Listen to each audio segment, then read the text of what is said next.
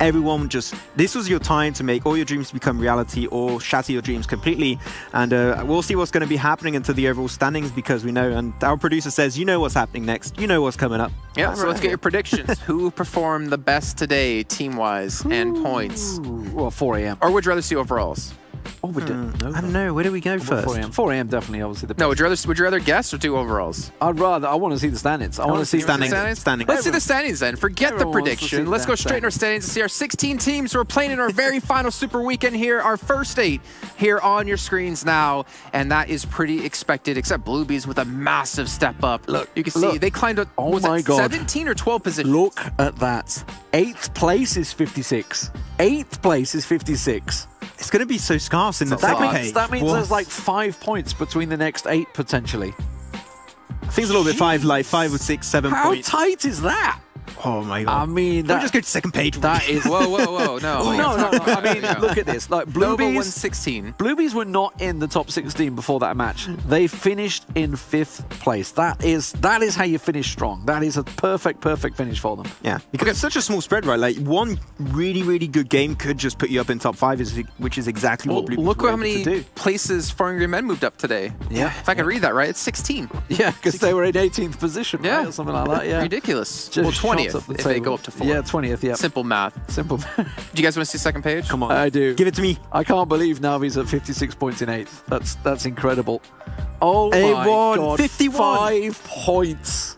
What? That spread. Five 56 to 51? nine and 16. Airwolf are in. Oh, Fantastic. Wow. Hell yeah. Zeus are in too. Class, we didn't know if they were going to make it for sure. They are in, but A1, that last game, all the kills they got were able to make Zeus, them go into the final Airwolf, Super Limax Weekend. in there. Zeus Archer for the first in. time. Archer for the first time. Yeah, Airwolf for only what 87 super super points. I think that's it. Class So they- barely made it. A1 in there, they had 115. Obviously, with Bluebees in there, they were the bubble at 140 something, 146, I think it is overall, 142. So that bubble's going to move. So all these teams, oh my god, what a super weekend we have coming. But Yeah, that we're means seeing- that, that means there's some serious teams Yeah. missing out.